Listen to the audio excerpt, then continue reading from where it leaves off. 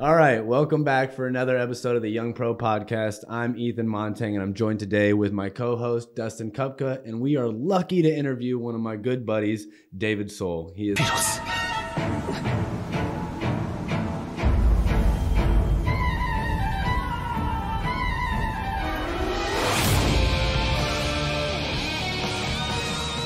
19 years old. He quit his sales job to pursue his dreams of being an entrepreneur.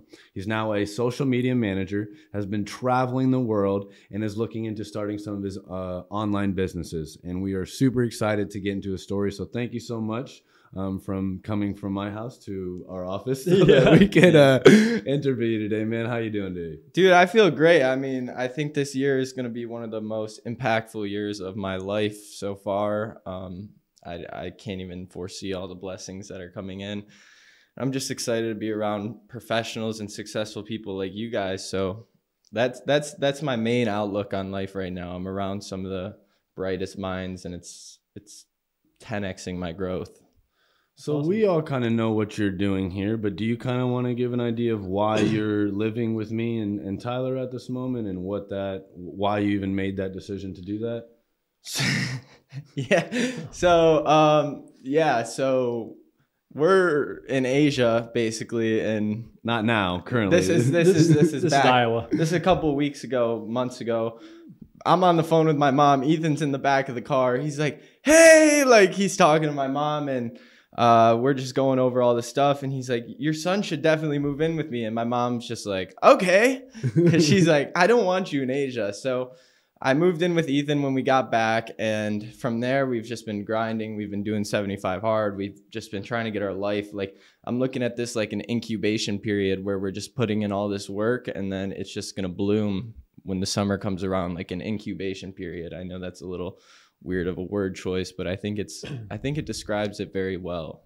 And I think it shows like I when you know me and Dustin met, I kind of latched on to his personality and his experience, and I think it speaks volumes for being 19 years old.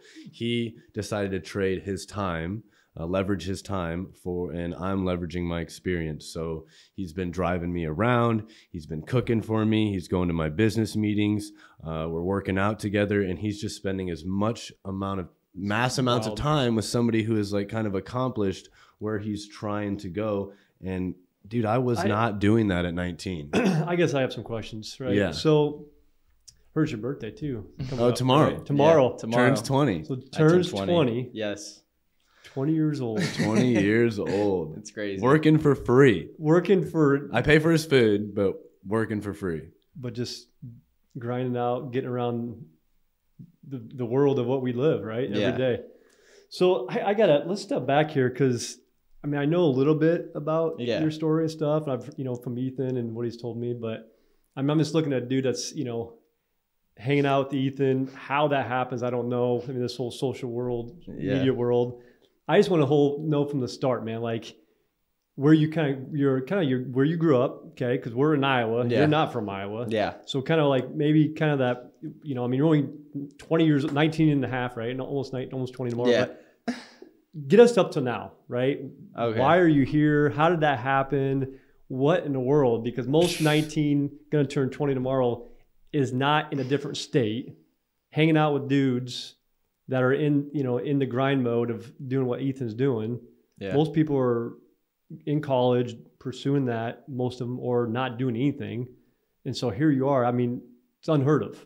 Yeah. Um, so that's that's a great point. Um, if rewinding back to like when my entrepreneurship journey started, uh, I'd say around like 16 years old. I'm just in my house. I have a brother. He's like 26, so he was probably around like 22. He he had this book, Think and Grow Rich, and Ethan, you've heard that? Yeah, I've- I've read Okay, it, yeah. Okay, good. yeah, I'm 16 years old, so I'm like, why don't I just try and read this? I read it, I just fall in love with books. That just sets me on this journey of reading Rich Dad Poor Dad at 16 years old. That that changed my life. So now I have just this whole new paradigm shift of ways to make money, ways to get myself into the outside world. And one of the big things in my life is networking. So from that time on, I'm on TikTok. I message Ethan. I'm like late 17. I'm like 17. It's like I'm about to turn 18. And I message Ethan and he's like, Yeah, I tried to teach people before. So I saw his TikTok. I messaged him. He's like, I tried to teach people before. Doesn't really work. I've tried to teach my mm-hmm. friends. And I was like, Yeah, yeah, whatever. So I kept messaging him and he just like blow me off. Finally, one night he's like, let's get on a call. We hop on this call. This guy just drops sauce for hours. Like he just he he's just telling us everything about his entire business and everything. Us meaning you and your brother. Me Or and my buddy, my buddy. buddy just hopped on the call. I don't Okay. know how that went. Um, I was just like, yeah, this real estate investor wants to call me. You want to hop on this call with Yep. me? And we talk. Boom. The call ends. Nothing comes out of it. Like two months later, I message him again. I'm like, yo, can I come out and learn from you? He's he's blowing up on TikTok at this point. He's at like 200k. He's got like four videos with millions of views, and I'm like, okay, this guy knows what he's doing. So I I, I hit him up again, and he's like, meet me in this conference in LA, and it's like three thousand. Yeah, Vegas. Vegas, Vegas, Vegas. It's like three thousand dollars. I'm like, how am I gonna come up with this money? Why I I don't I'm not even in real estate. Why would I spend this money? I'm like, so I'm in this conflicting I'm in this conflicting headspace, and then I'm like, all right, let's just go. So I send it to Vegas and meet up with Ethan. So, so are you in high school at this time? I had just, Just got out of high school. Just I, got out- I'm 18 at this point, so you're, you're just got Because you turned 18 at Yeah. the real estate conference. And let's pause. He contacted the real estate people and he was like, hey, I don't have a lot of money. I'm actually going to be there on my 18th birthday. Can you give me a discount? And they did. So he got into the event cheaper than I That's did. Yeah. fantastic. Yeah, Hey, you don't know if you don't ask. Yeah, right? Exactly. I networked my way into that one too, like this. But yeah, so uh, we hit it off in Vegas. Um, then another week, or two. goes by. I'm in Iowa. I'm in the cornfields. I'm like, why am I in Iowa? this place is like, um, just So born and raised where? What state? Michigan. I'm from Michigan. Michigan. Michigan. Okay. So then I came out for a week, just learned how to analyze deals, analyze the calculator, analyze properties, see what are profitable, and then I went home. And then from there, we kind of just Stayed in contact. Yeah, we stayed at in- that point we were pretty yeah, close. Yeah. that was Yeah. like w- we're locked in now. And then months go by, um, and I'm just like, all right, Ethan's in Asia. What the heck is going on? so I had just gotten back from Paris like two months before I went to Asia. So I was like on this traveling spree, and the, Asia was just like, wow, Ethan's there. He looks safe. I'm searching up online. It's like, don't go to Thailand. It's not safe. so I'm like, oh my god. And he's in Thailand. Yeah, he's in Thailand. So I'm like, it's safe. I'm going. I text Ethan. He's like, yeah, maybe you can come, bro. And then I'm like, all right, bet. So now I'm like set. I'm going to Asia. I'm calling Ethan. He's not answering. I'm calling Ethan. He's not answering. So I'm like, wow. and then I text him again. He's like, all right, bro. Dude, I sorry, mean- I've been busy. Oh you can come. God. When you gonna book your flight? I'm like, I'm booking it today. Call him like two more times. Doesn't answer. so I'm like, all right, I'm booking it and sending him a picture. I book it, I send him a picture. and then like a month out, I get to Asia and we just link up and it was I get there and this, he's like, I'm sending a guy to pick you up from the airport. So I got like four guys barely speaking English, like, come with me, come with me, come with me. And I'm like, who are you? And I'm like, I'm looking for a guy looking for David. I sent him my, he my sent driver. him, yeah, he sent me a driver. So I'm looking for this guy. He's not there. And then, yeah, and then I get picked up, oh and Oh a guy just God. drives me two hours to Ethan. So he could have kidnapped me, I Dude. guess. But, but we made it. We made it. So And, and to, to add on to that story, he gets there, right? Um, I ended up having a friend there that she, she was traveling around, so she came and stayed with me for a little bit. But he gets there, he starts unpacking his bag. He's got one backpack. That was the rule. We're backpacking, no suitcase with wheels, because we were gonna do like a motorcycle trip. you want to get in and out. We want to get in and out. So I have my 50 liter and then I have a chest strap. He comes with a school backpack. okay. School backpack. He starts Oh, taking out his stuff and like his clothing or whatever. And then he reaches in and he pulls out three fat books. And I'm like, dude, that's like 30 to 40% of the Of your- capacity of your backpack. What are you doing? And It is just like mind blowing. I was like, at that moment, I was like, dude, this kid is so, So hungry. different and Yeah. so hungry. Like he's bringing three books. I had brought one book that was a thinner book, you know, too. And so it was just at that time I knew I was like, I wish at my age or when I first started, you know, I Mm-hmm. didn't find you till a couple years into the game. So it was like, I wish somebody had kind of taken the time. And the last thing I want to do is take time on somebody who's not putting in the work. And that's just not the case with him. And so he's, you know, one of my best friends right now. He's intern, but like I, I Sure. really look up to in a certain sense his, his work ethic at the ages that he is. And it just speaks volumes. So Yeah, I appreciate that. It it it was it didn't happen overnight. Like I didn't get into books. I didn't like this this has been a constant battle with self and constant battle with consciousness of just staying on track and not being around the wrong, wrong people at this age. It's so easy to get tied up with the wrong group and mhm. want to be seen in this light that isn't really you and not true to your nature. yeah. And that's that's my big thing. Surround yourself with people doing what you want to do Mhm. and in the places you want to be.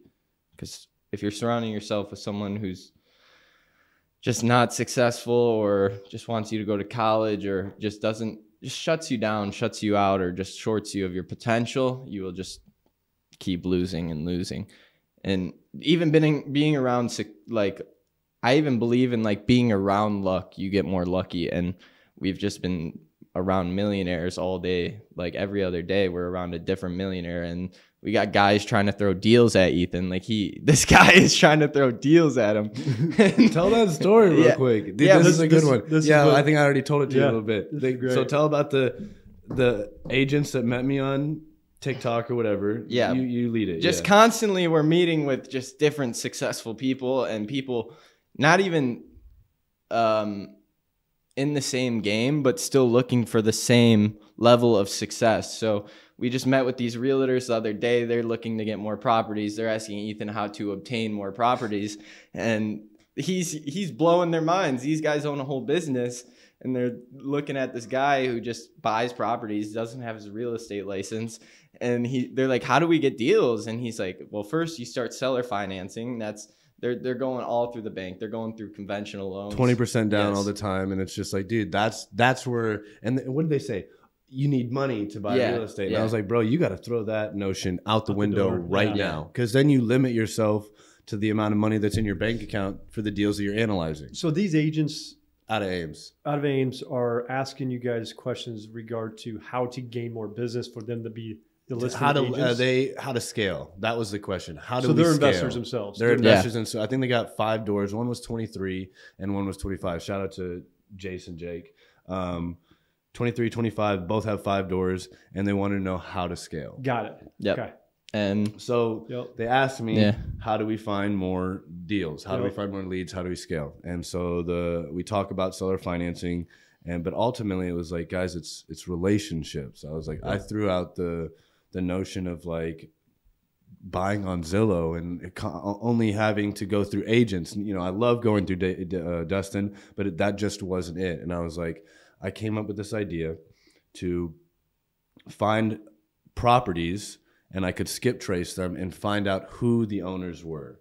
And then when I'd contact the owner, it was never about buying the property. Right. It was about the relationship. Let me hear your story. And sometimes trying to just buy someone dinner doesn't always work, you know? But if you are looking up to somebody, and what I've realized with a lot of more successful people, they want a chance to tell their Yeah. story, especially to younger, hungry people. So I phrased it around that. Let me come i'll work for you for free i'll paint for you for free like i get that a whiskey or a dinner may not be the value that you're looking for to take this time but i want to hear your story and at that point i realized that's what those guys care about they don't have a lot of people that are interested in their story or how they built things so i'm telling them this and they're kind of like nah this guy's crazy the very next day the very next day marty contacts Yep. me which is the owner of the first apartment building i ever bought and I had just got we had just uh, closed the contract that I had for a long time, and I, he ended up making like a hundred thousand dollars. And I, I thought he was calling me to, to lend me that money to get more money. to get yeah. more money so that he, he just made all this money. He's going to lend it to me. Yep. He wants something to do with it. That is not the intent of, of it at all. I'll let you take over the rest because he's with me the whole time. This guy just whips out a paper of like six properties that he owns that he just wants to liquidate. He's like, "All right, Ethan, you can just choose from these. I'll, I'll seller finance them all to you, um, and you can you can take them as they come. So you don't gotta buy them all now. You can take your time on buying them. So he's basically just putting all these deals in Ethan's face and saying." Well, you can buy these whenever you feel is a good time, and That's that. yeah. that. So I, That's it's cra- that's what I'm saying though. Yeah. Like just being around that luck. Like my first client just contacted me too. So like I just feel like we're we're our luck is like playing off each other, and um, it, it's it's coming in tenfolds. Yeah. That's that's how I see it. well, you know that. I mean, I know what you're saying when you say luck. You Yeah. know, we kind of have had. It's have- not just luck. Yeah, I've had this conversation, but you know, it's. I think the harder you the harder you work, you know, the luckier you get. definitely, You know what I definitely. mean? But just being in the game and just being, I mean, with Marty, I mean, shoot, I remember that what four years. I mean, that's been a That's been a Three- relationship. Yeah. four year relationship. Yeah. You know, and I mean, I remember meeting Marty the very first time. Smoking a Smoking cigar, a cigar in the property that he was trying to sell us. So I, I- so I go and we meet up with him, and he's standing outside the the you know this brick beautiful building, and yeah, he's sitting there with his a, a hat, Country hat, Yeah. cowboy hat, cowboy looking leather hat, you know, like little flower, you know. I mean, just kind of and a big old stogie. Big, I mean, that thing was so fat. And, I mean, and I just remember That's he's just great. just smoking it. So we're sitting there going, okay, we're going to go on this property. You would think he would set the cigar, c- cigar. Cigar it wasn't even. It was a large cigar. Yeah. You put it out. Oh no. Oh no! I own this isn't building. you know this isn't 1990s. This is Yeah. you know 2022 or 2021 when he just kept it.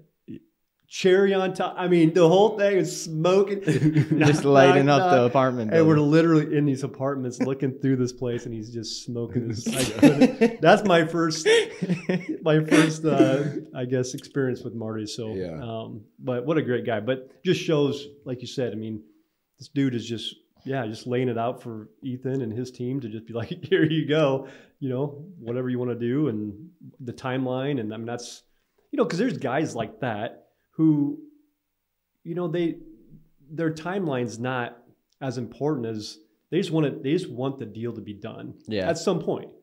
and they and and ethan has uh, i mean obviously he's very experienced with closing deals. Yeah, and these guys just want they want to know that the guy who they're working with is genuine authentic Yeah. they're they're true to the word they're you know if they say they're going to pay them they're going to pay them yeah, even if they run into you know obstacles you're going to get it done yeah, and people in, in today's age, that's harder than it sounds to find that.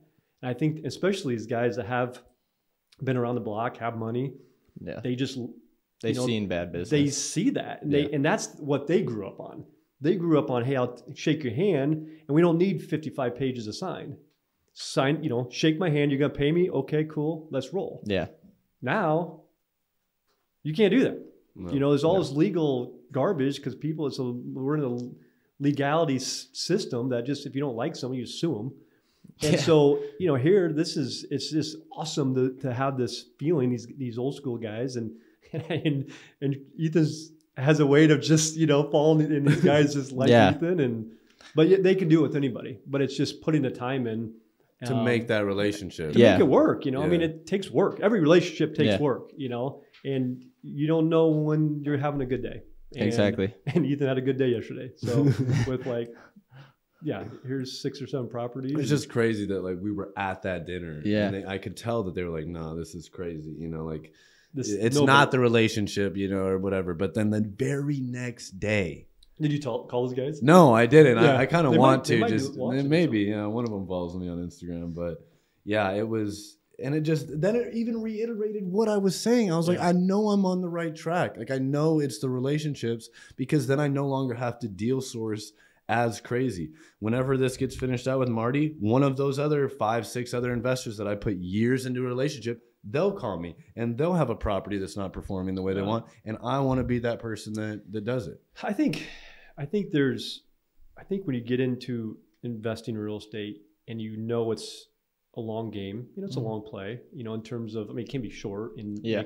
but the guys that are, you know, are very wealthy, I mean, they're in it for the long haul, you know, Yeah. and I think once you start having that mindset of like, you know, you got your day job, you got whatever you're doing to, to pay the bills and whatever, but once you understand that this is a 15, 20, 25, 30 year process, you kind of relax a little bit. You're not trying to sell. Yeah. You know what I mean? You're trying to just your motives, I guess, have changed a little bit where you you know you know when you know you know it's gonna come back to you. It takes the pressure. But a lot of these guys, a lot of these these guys are looking for a deal tomorrow. Like I need one today. I, I got this money, I got this 40K, I want to spend it because I listen to this podcast and I gotta I gotta, you know, I gotta go, go, go, go. It's not it. Those are the guys that, you know, will maybe pick up a property, but you know, honestly, Might the- not be the right one. it's not might not be the right one and and this long term. I got a couple I got a couple guys investor. He just buys duplexes. I met And- him. Right, Yep. we went out for we golfing. Went, gol- went golfing, Golfing. together and Sixteen. He's got like sixteen. nah, he's up to 23 now. All it is is duplexes. that 23, is like his 24. lane of what he is Building. became sh- good at. We've and shown him multi units. We've shown him single family. We've shown. I mean, he's looked at him. He's like, "Yeah, let's go check this out." And he always, he always comes back to, you know what? No, I think this is this is my play, and this is what I do. And he's Killing mastered it, Yeah. killing it. And most of his, because I'm a, I'm, an, I'm his agent. Yeah. Do you think I want him to just go and use me with? Heck yeah.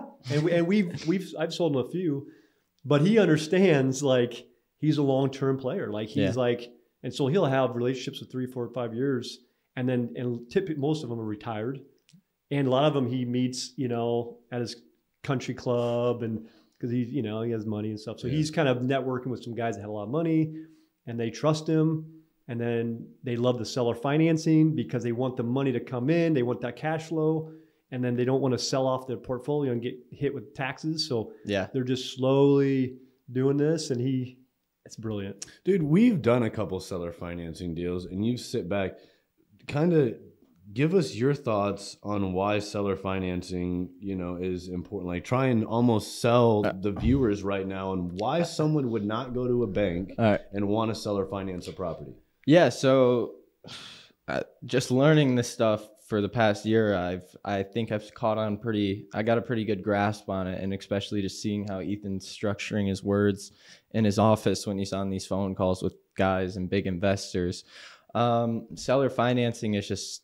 It, I think the first thing that sticks out to me is you don't need the bank, and I think that sticks out to everyone because Mm. not having to use the bank, not having those set terms is so important because that it, it, it leaves the deal like Play-Doh. You can kind of mold it to fit. You you guys can mold it to fit. Yeah, you guys are molding the deal to fit to both your needs. And when you have that Yep. in your hands to mold that deal, both parties can come out extra happy. And the the seller doesn't have to pay capital gains tax because you have a set interest rate so they're not just taking this chunk of money and and the reason investors don't like paying capital gains tax is because they lose their money they lose profit so they're willing to take like when you're making millions and millions of dollars you're not worried um, about taking little monthly payments yeah yeah, or whatever yeah because you're already you get you're sustained you're you're secure Yeah. I don't like that word, but you're secure. And so just not going to have the bank. So now you don't have to, you only have to put 5% of your bank account down Yeah. instead of 20%, which the bank will make you put 20%. That's no ifs, ands, or buts. And well, and that's even negotiable. Yeah, you could So- get less than five. You might have to get more than five. It just Yeah. depends on yeah, the 'cause seller. you could get one themselves. percent. So that's molding the deal to your play, and that's so important. Structuring your deals. So with that being said, you can attain so much more real estate. Like we were talking with those guys, they they put like eighty k into. I think 100, yeah, 100K Yeah. to buy them $500,000 of real estate. Yeah. And then I gave them the example Yeah. of that me and my partner Ashley in Kansas City, we put 65K down to buy $850,000 worth of real estate.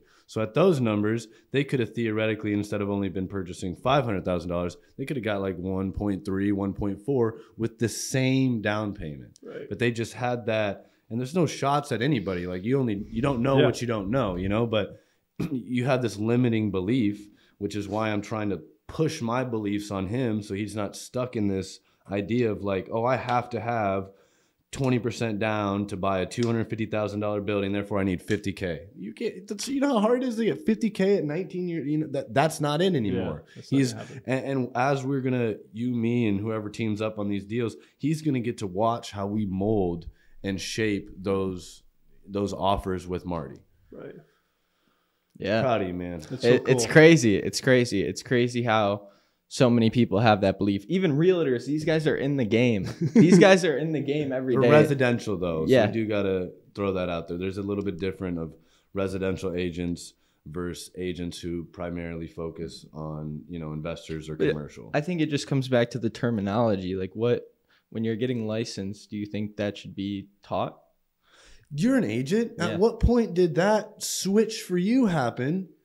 There's Because they don't teach you that. And no, yeah, and it's not a prerequisite, right? Yeah. There's agents that are part time. There's agents full time. There's agents that rent. They don't even own their own own homes. home. They, there's agents that own their own homes, you know, and so there's agents that buy investments, Yeah. you know, and, and there's guys that are making a million dollars a year selling real estate in Des Moines that don't own one piece of rental property. Yeah, That to me is crazy, crazy. you know, but but that's just my perspective. You know, they're that's not that's not the lane they want to play. They want to play in the stock market. They, you know, I'm assuming they're doing great point. Yeah. other stuff. However, they just feel like they don't want to deal with what we as investors deal with yeah. which you know it's not for everybody right but i do believe that the ones that do play in that role if you will i i, I mean i think they have an advantage i think they Mhm. have an advantage of really understanding The every- full the picture. full picture of what real estate can truly do for people uh, from you know from just an investment in terms of if you're you know just purchased and living it for 30 years you know I mean most people by the time they retire the only thing they have left is their home Mhm. Yeah. I mean most people don't have a re, you know a savings account right so but they have a house that's paid off Yeah. um, and so, I mean, I, I think, and I, I was just talking to another invest, uh, real estate um, agent three days ago. I was telling you about Jason. Mhm. Um, he has like 45, 40 some single family houses. He has one duplex, but you know, he just, he got into the game not too long ago. He was selling cars for 12, 15 years, 12 hour days. He's like, he's like, we as he goes, dude, people think real estate agents, man, you guys, you know, we work all the time. He's like, no, you don't. He's like, you don't work that hard. Go sell cars for 12 hours a day. That's hard work. Yeah. And my brother, you know, Jason did Yeah, that, you yeah, know, yeah. did the card thing. But so now he's, he knew that like selling houses, being a real estate agent is, is the, is the job that pays the bills. Investing in real estate is how you get wealthy, yeah. right? And there's a big difference. Huge. Passive income, active income Yeah. passive income act and so you just you pick and choose but man i tell you what like there's a lot of agents i would i mean i would i would be wonder to see what percentages of real estate agents actually invest in real estate i bet it's i don't know what it Mind is. blowing. Small. Wait, wait, so what was that Small. switch for you? Like you said, you didn't learn it. Was there a person you met or an investor or a situation that happened? What was that switch that was like, man, 75, 80% of what I've been taught up to this point isn't how the game has to be played? Yeah, I mean, I think you know before I even got. I mean, I was you know we were a little bit different because we got when we first started. I mean, I bought my first flip property in 2016. Oh, that's right. Yeah, you came in, you As- got your license As an, because more of an investor. more of an investor. Yeah. so I came in more. I, I I saw the passive income. I saw wealth creation. I saw time and money. You know, these are the things that I saw before I became an agent. Then once I started flipping, then I realized, you know, here I, you know, you spend, you know, you got twenty thousand, you know, on a profit or thirty or whatever it is, and then you're given, you know, you're having this listing agent that you might pay eight to ten thousand dollars to list your property and going, oh Yeah. my gosh, Yeah. you know, and and so You I'm could like, just keep that. yeah, I'm like, so you, so you have all these, you know, ways to make money. Well, that for us was another way for us to to keep, you know, and, and I was better at that than you know, putting nails in a in a wall and Yeah. doing demo and all stuff. I mean, I I was more, my knowledge base was better on selling and stuff. But what was the switch for you, man? For just kind of realizing things can be done differently than what you were either taught in school or maybe even what you read in some of the books.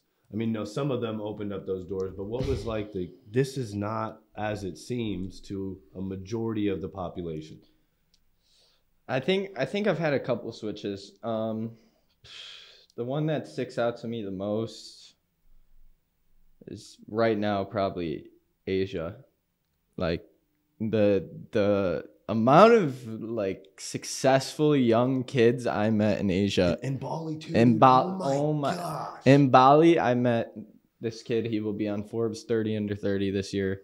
He's 20 years old. He's so successful. He's a coder and he basically just builds these crazy programs. And he learned it when he was 16, dropped out of college. He has two Porsches. Like he is just, just eh, wow. yeah, all his 20 years old. his bets his bets are on him selling his business he bets on building businesses and selling them that's how, that's his success and it, you can't just become a coder o- undernight overnight coding is so difficult so it's a it's in store it's a high value skill and just these other two danish kids i met killing it. They run a whole agency out of bali. They're 20 and 22 like there's just so much success there and you see the success and you see that it's so obtainable and you see that your daily routine can look just like theirs and you see their micro habits are similar to yours. So that opens this paradigm shift of okay they're doing it. What why can't i do it? What he- he's not an alien like he has no like he has access to the same information same we all have access to this unlimited source of money and they're just everything we're all on the same boat That's awesome. All right, let's dial a little bit into your story. Yep. You're social media manager now. How Yeah. did you get to that point? Um, so I just I, I've always want to make income from wherever. I don't want to be held down to a place, and that's what I've always been scared of. And so when I got to Bali, the goal was to figure out a way to make the income. And I've I've managed social medias. I've helped people build their brands um, for free. I was just doing it because I wanted to see what I could do with something else. And when you got, not to interrupt, Yeah. when you got to Bali, you had 18, 19,000 followers on TikTok, like 2,500 followers on Instagram. yeah. And now you have a completely brand new account. You still have the 20,000 on TikTok. You started a new account that's at 40 ish thousand, Yeah, right? 40,000. This is all his face. This isn't like a some other company. And now your Instagram's about to break 7,000. Uh, yeah, my Instagram's at seven twelve as of today. So, good Yeah. shit. So, yeah, so basically, my last day in Thailand, I posted a TikTok on a Thai phone, and it just blew A up. Thai phone. Yes. so I don't know why I, I was just like, why don't I try this? And I tried it, six hundred thousand views. So, um, Yeah. I've just been focused on scaling that. That's like a side hustle though. So my main income, because I will be moving back to Asia in March. March 1st, you Yes, fly back. I will move to Thailand and I I will just stay there until my visa expires and then I will probably go to Philippines. And the goal with this is to just take as much risk as possible. Like end up in these situations where I have no idea what the outcome is going to be because the outcome can be better than I can even imagine. So if I put myself in these bigger risks now when I'm younger and I have more time, because if I fail, if everything goes wrong, I run out of money. I come back to the U.S. I pick up a sales job. I make that back in less than a year. Try it again. Yeah, less than a year, and then I can just do the same thing, or I know that this fails. I, I like the term "fail fast." The faster you fail, the quicker you can start something new. That doesn't mean just throw it away, but that means fail fast. Mhm. Yeah. So if we're failing fast, then we can start quicker, and that's kind of how I'm looking at it.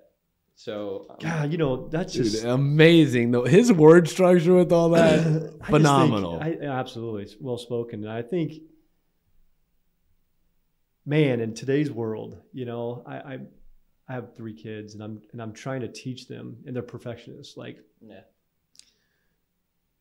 like they're so like they don't want to do anything wrong Yeah. right? It's- they're in a position where they they they're constantly like wanting to make sure that mom and dad are you know Happy. happy proud of them whatever which we are but they just they're rule followers to the t. Yeah, and uh the middle child is a little bit different but he's not he's not a rule follower. But but my oldest is.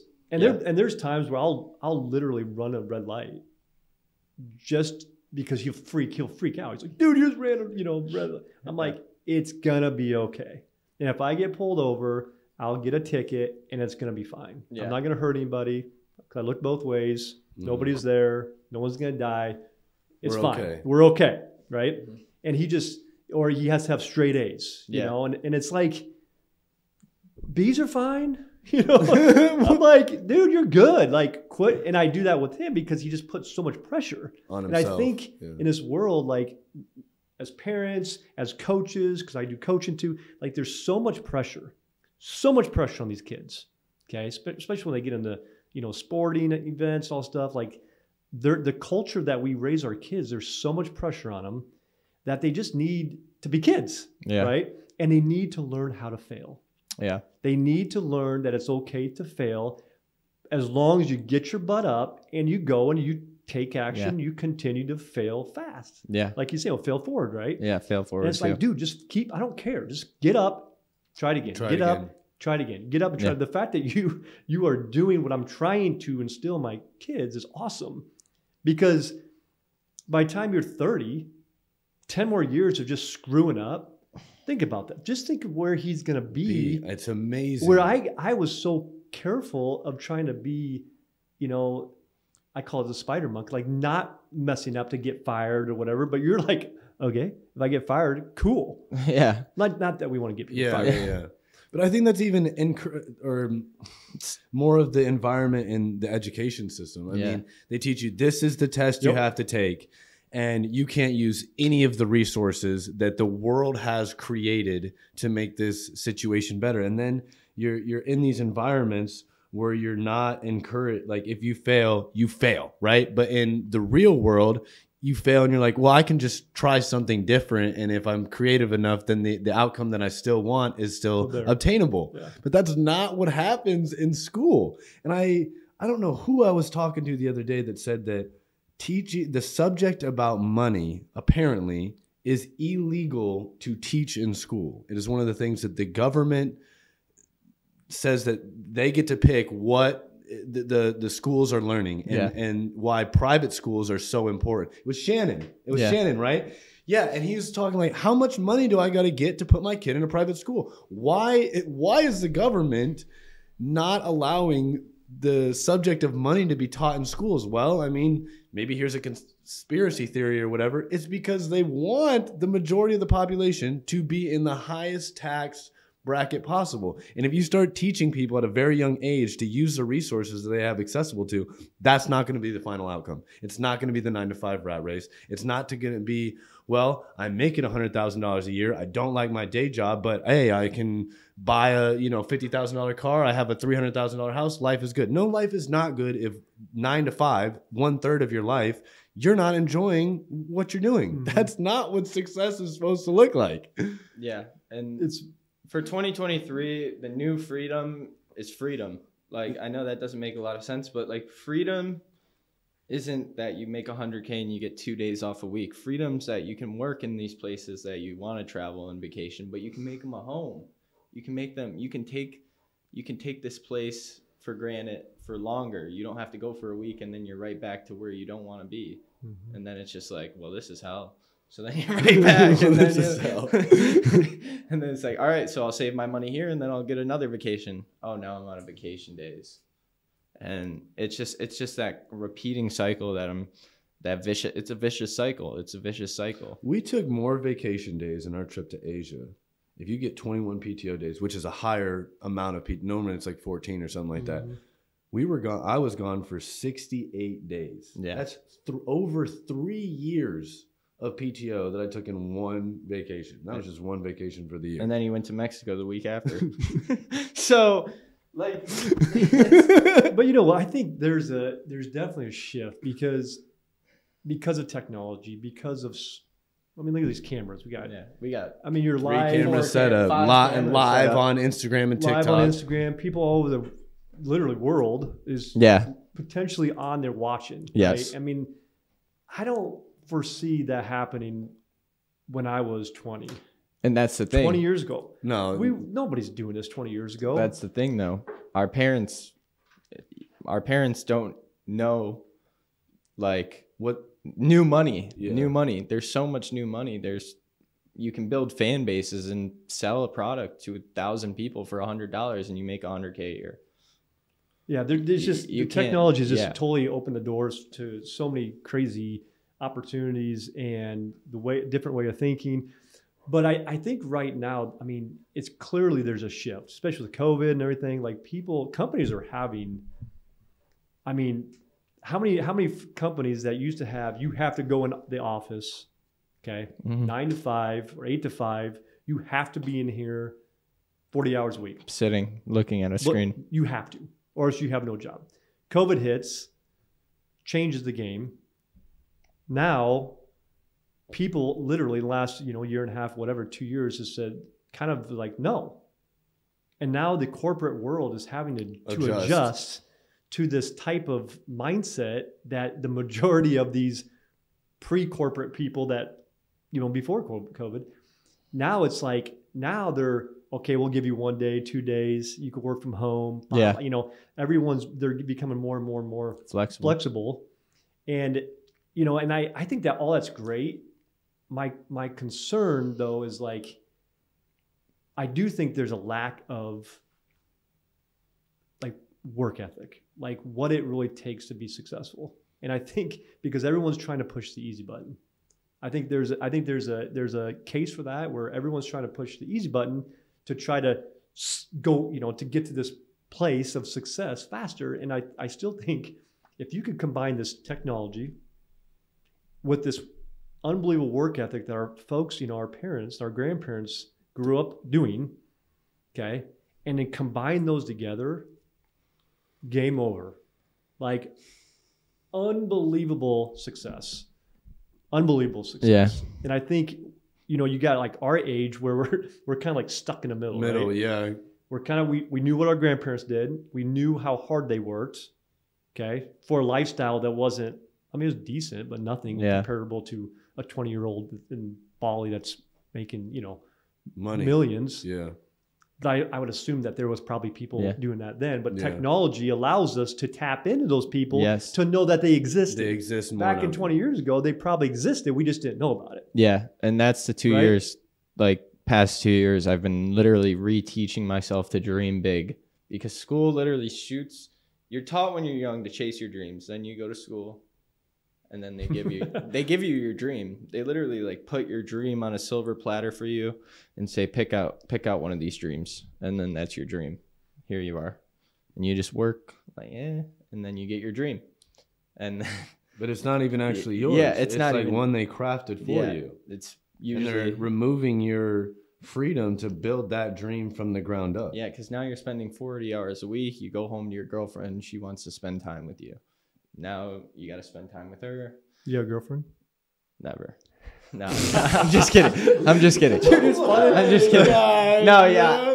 Um, you better I've had a girlfriend. i I, think we'll edit that right I probably won't. I probably won't get a girlfriend for quite a while. I'm I'm really locked in right now. Like I said, incubating. So I just know they like you have one job that's 40 hours a week. She's a whole nother 40 hours a week most of the time, plus a bank account of a a heartbroken bank account. and then sleep. yeah. There's your whole. There's not a whole lot of time to maneuver and build something outside of that, if, that if that's what's consuming a lot of your time. I just don't think love. Everyone wants like, everyone wants to get their life so set up and structured, and then spend the f- next fifty years of their life just living the structure over and over again, year after year. But I kind of just want this life of like, all right, maybe this year I'm a news reporter in Singapore, like some wild things. Like, like this year I'm hosting a cooking show like just doing random stuff with my life maybe i want to learn surfing this year maybe i want to like become a Muay Thai fighter. Like I just want all these Yeah. things. I want opportunity and to figure out what it is you want to do in the future. And until you test all those different avenues, how are you actually supposed to know what you like? Rachel, that built us the analyzer, you met her in Thailand.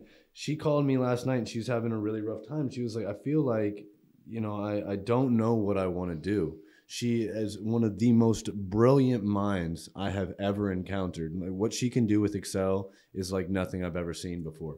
And now she's in this situation where she she feels because of what she's learned in society that she's wrong for not knowing what she wants to do now. She's in Australia, Hmm. traveling, living a life that a majority of the population will never even understand. And she's feeling pressure from family or friends that are in Iowa. You're in Australia being a boss and you know she she might end up having to miss out on this vacation. She's like i don't know if i should take a loan out. I don't know if i should you know drain my savings. And i'm like what you're learning right now is far more valuable. Like drain your drain your savings right now. What whatever few gold coins as richest man in babylon would say whatever few gold coins you got right now isn't ultimately going to affect your retirement. If you're taking that gold and you're figuring out okay i don't like to do that that's valuable. Get rid of the gold. If you and then you do a couple different things you're like you know what? And i told her i was like if you end up wanting to if you love travel then figure out how to go be a flight attendant. Like you don't you've already hit a certain level of like my parents are proud of me because I became an uh, because I was an actuary. That's a hard title to get alone. Like become a flight attendant, travel. You get cheaper travel. You don't have to have this job title that that holds so much weight. There's so much more value in just doing something that you love, and then you have the freedom to go. Like you don't need this constraint of what society told. I got to do this by this age. I got to own a house. I got to have a kid. It's like that's not that's not how it's supposed to be anymore.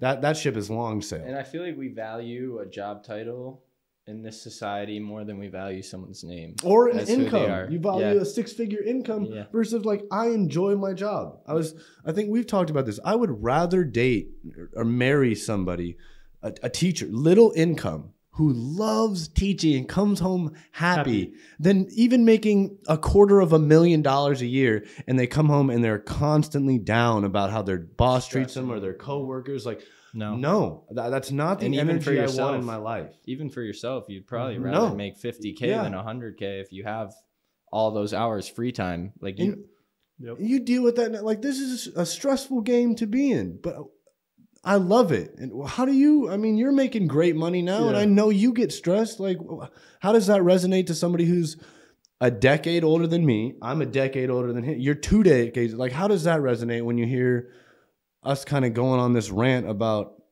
that aspect of things? You know, I think I think there's in this life we live, it's too damn short.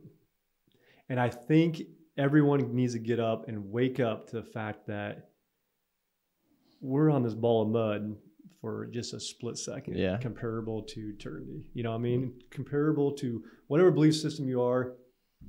When you look at something and you have eternity, right? Mm-hmm. Can you see it? no. Nope. Because it's it's so small. Yeah. And I think it's it's we get so worked up about all these things that people think and just chasing, you know, this and chasing that, Impressing them. trying to press your neighbor, trying to press your whoever. And I think it goes back to all these things that we've been talking about. And I think, man, if you just are okay to fail and just enjoy finding something that you're passionate about, which is hard it looks, it's hard as it sounds, Yeah, very hard. and just really find whatever you're passionate about and then make that your thing. And I, I think for us, I love real estate. And so it works out great because it pays well. you know, I, I think it works out fine because we're, we do okay. So uh, where other people, you mentioned teachers. God bless teachers, Mhm. right? Thank God we have them because they are they do amazing j- job. I mean, we have like, we have three kids. We have some of the most amazing teachers that teach our kids a lot. They're with our kids seven, eight hours a day. Yeah. Like you want good educators. yeah for sure And you want educators that are passionate, that love it, that are okay with getting paid 40, 50, 60, 70 grand. I'm glad they get the IPERS. I'm glad that the, you know, that they're state funded with they get they get taken because that is really Yeah. important. But they're they do it not for the money. They do it because they love it. Yeah. And I think everyone should do that. Everyone should do that Yeah. and quit it. Quit the crap because tomorrow you could wake up and you could find out some negative crap that has happened in your life or is happening in your life, and instantly things can change. exactly. I got stories right now that are happening with my family, and it's like one day it all can change, and it's yeah. I love what you're doing, man. I think yeah. it's the coolest thing to be 20 years old tomorrow and doing and doing what you do because I, I applaud it. I think it's I think it takes guts. I think I think what you're doing is probably not real popular. I guarantee there's but it sounds like your mom is like super so supportive. supportive. Uh, it took a little bit of time. right? Okay, yeah. So if we want to go over that story real quick. Yeah, let's run it. Yeah. yeah so um so i was in college for about three months um this was during covid so i was just waking up in bed opening my laptop and going back to sleep um so i'd wake up i'd open my laptop i'd go back to sleep i'd wake up in between the class and i'd be like oh yeah and then i'd, I'd What are you doing a class online then? Online. yeah, And so you- online. so So you just, just- open your laptop. Yeah. So I was doing that, and I was like, "What am I? I'm I literally learned nothing, and I'm just getting thrown these essays that are like, find me the punctual correction of, like, I'm learning nothing, and I'm going for a business degree. So what the what am I doing? What am I wasting my time on? No. So I'm like, Mom, I'm dropping out. She's like, Oh hell no. So I, we just get in this large war. Um, I'm like, I want to chase my dreams, and I'm very confident in myself that I can, I can attain success. And she's like, "Blah, uh, blah blah blah. You don't know that. Like, I really want you. And she still, even every time I call her, she's like, Well, you could be a server today. And it's just, it's, I'm fighting that paradigm. So I used to get mad at her, and like this is when I dropped out of college. I just stopped going. I stopped doing my assignments. I barely told her I dropped out. So then I- she's like yelling at me, yelling at me. So I just run away. Not like run away, but Sure. I I take my car and I just go sit behind the store all day with my backpack and like five books. so I didn't I just brought a notebook and like five books. I didn't bring any clothes or anything. I'm like trying to find places to stay that night. Then she just calls me. She's like, "All right, do what you want. Just come home." And I went home, and from there, I've just been. I I, I just think I showed her. I don't want to say it's the best thing I did because it could have turned out wrong. She could have been like, "All right, mm-hmm. never come home." But I, I think it was just the fact that I showed her how serious I was. I showed her that I'm willing to risk it all for this crazy little idea. And and it hasn't worked out yet. Like I'm not. I, some nights I'm like, what am I doing? Maybe I should go back to college. And it's like these reinforcing thoughts of just knowing that as long as I set the intention, attacking it constantly, that even if I fail, I know I still did it. I took the risk, and I don't want to be laying on that deathbed knowing you didn't do it. You just didn't go for it. You just kind of fit in and lived a life of mediocrity. It sounds like your mom though is like She's my number one supporter. she's there, dude. Yeah, like if, if and you know that, so if you fail, once She's- again, But that's not You good. could go though, I feel like I feel like that's not good too, though, because if it's like that gives me a plan B, and I Mhm. don't want a plan B. That's why I dropped out of college. I'm like, no plan B, Love that. no plan B. No plan B. I do want to touch in on, um, like you you said that your mom used to get mad or didn't believe, it. and I think that there, it's really easy to be younger and just like almost expect your friends or your family or whatever to just like have this unrelentless belief in you. But that's like the older I get, that's so unfair. Like you have to prove to them Yeah, that this is what it's supposed to be. I mean, with my parents at least, I- I'm fortunate enough to say that I think my parents raised me to believe that I could be anything I wanted to be except a millionaire. And that's no that's no you know Fault to them. fault to them. It was like Yeah. that was so far out of their reality I like that that. like that they couldn't they couldn't even comprehend it.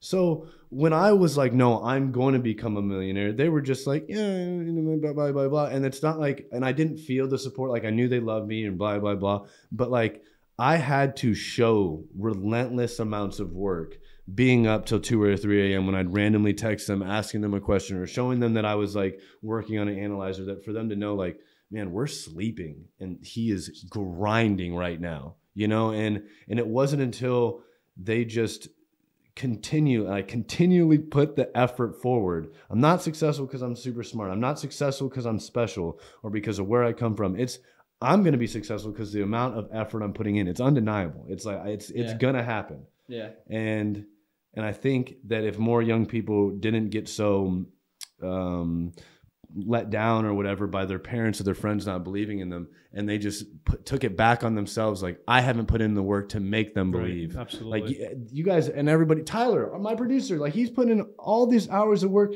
because he knows what i'm putting in on the backside. And it's like I, how could i expect someone to do that unless i'm doing the same stuff up forward and they know that it's it's un it's undeniable Yeah. it's gonna happen. I don't that- know when it's gonna happen, but uh, it's, it's it's coming. Motherfucker is coming. yeah, it's coming fast. and that's the thing. Like, I feel like everyone's trying to mold their dreams for their parents, and like that was a crazy paradigm shift for me too. Like, why would I want to mold something for someone else with my? It's like giving someone a canvas and then telling them what to paint and being mad when you don't paint the picture So they want they- you to. yeah. yeah. So So I like that. so I really like that. so yeah, you like get mad that someone paints a picture that you told them to paint this and they painted this. Like that's that's not how life's supposed to work. You're supposed to paint your own picture, paint your own path, and that's where true success comes. And that's why you look at Jeff Bezos and everyone's like, "Wow, I can never be like him." But he knew that he could paint his own path, and it may have not happened overnight because Amazon's a bookstore out of a garage, right? He built Something it out like of the that, garage. dude. It's a bookstore out of the garage, and he turned it into basically the biggest retail store in the world because it's everything you need in one spot. And I think that's insane. Like if you think about the paradigm shift for everyone in that time of when Amazon was really building up and gaining momentum, they were like, wow, everything I need is in one place. It's directly delivered to my door. I don't have to leave. I can use my credit card, pay off my credit card. I don't got to go get cash from the bank. I got to, like, there's just all these little core values that he stuck to fast, convenient. And that's what structured something so great. And that's why it pays dividends because he painted his own picture. yeah. All right, we are we are a little bit close to our time frame. I want to give you some time to think like about your favorite quote, but I also kind of want to give Dustin the chance to maybe offload some advice for what David is about to embark on, and maybe uh, some difficulties that you, you've overcome to to help you get to the point where he's at, the where you're at, so that when he encounters some difficulties, you might have these words of wisdom to fall back on. So you think about that quote or whatever is important, um, and let's let you take the floor and kind of offer some words of wisdom. Well, I think the best.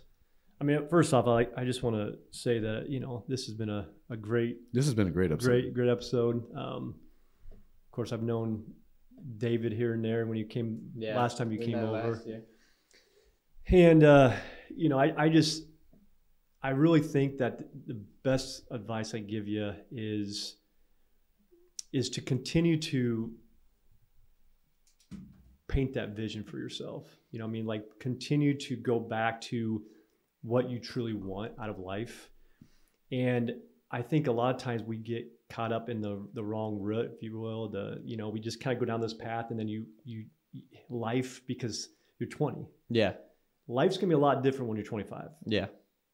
when you're 30 35 right things change you know and i think and i think it's by choice right but there will be things that will start shifting for you in terms of i know you're you know you're focused right now but girls and oh, and Yeah. maybe having a wife having kids um, you know th- priorities do change right Yeah, you're course. just grinding man you're just 20 years old just killing it but No. that will eventually change. And I think that you have to continue to to to what your vision, what you're feeling right now, put it out there. Put that put it out there. Write it down. Put your goals out there because when you get distracted, you can always go back to saying, "Yeah, I'm in the weeds right now." But this is really what I was true to myself here because I didn't have all those distractions. Yeah. And I think if you can continuously go back to that, continuously go back to that vision or those dreams, or or you know they have dream boards, or I mean Ethan Yeah. has this you know freaking dream board, and he you know we do things to to you know have that vision in front of us so we don't get distracted. Yeah. because you really you only get one life, dude. Oh, I know. One Yeah. life to live. You only get one shot at this, And you don't know when it's gonna end. and you don't know when the expiration date is, Yep. right? And so you have to continue just to understand that there's no expiration. We don't know when it's when the, when your time's done. What stamp do you want to put in this ball of mud today yeah. that other people can go, man, that David, he was different. He did this, he did this, he did this. And the last thing I do say would is take care of people. Yeah. Don't do business the way that takes advantage of people. Yeah. Do it the right way. Yeah. Be have Selfless. some have some standards, right, with what you do and how you conduct yourself, and you do, because I mean Yeah. I've known you. So I think that's key, man. Be true to yourself, have your vision, know exactly what it is. So when you get distracted by life, you can always go back to that and then be a be a good friend. Take care of people. Yeah, and I love that. That's that's a value I definitely strive myself on is serving others. Like my I always come second. I I, I don't want to say that in a bad way, but like if I can help someone out today, if I can buy someone Starbucks behind me, or if I I love doing that stuff. I love doing that stuff, and I don't want to go into too much about what I do for other people because when it when you sit here and tell people about all the things and what, what who are you really doing it for the camera or the and that's that's what I that's why I don't like post TikToks about what it and all these guys do that. And I think it's good but I think it's bad too because they're doing it for clout. Some of them aren't but they're doing it for the video. They're doing it for success of themselves. So I think it it, it plays hand in hand. I don't know. It's a touchy subject for me. Mhm. um, but getting back on track, the quote, the quote that I would have to say resonates with me most for whatever audience is watching, whoever's watching, is never take advice from someone not living the life you want to live. Um, that's something that I had to realize. That was a huge paradigm shift. And when I say paradigm shift, like a huge Mental. mental boom like why am i taking advice from my teacher who's making and i don't want to say this in a bad way but making $50000 a year driving to work every day going or do i want to take advice from someone who's making millions of dollars a year most of their work is passive most of their most of their systems and operations are using technology so Mhm. it's a new faster sped up convenience just all these things they're just they've built this machine that just brings them in money. So who who who, who do I want to build from? My teacher or and that's that's the big thing at my age. Like I will not take advice from someone I believe that I do not want to end up where they are. Man, I think this is probably one of it's. I know it's the longest episode that we've had because I got the mark from Tyler quite a bit ago. But this flew this flew way quicker than any of the other ones. I really enjoyed this this conversation. So, thank you so much, David. Man, I love you, dude. Seriously. Yeah. Happy birthday, buddy. Yeah, happy birthday. All right, everybody. Thank you so much for watching, and until next time.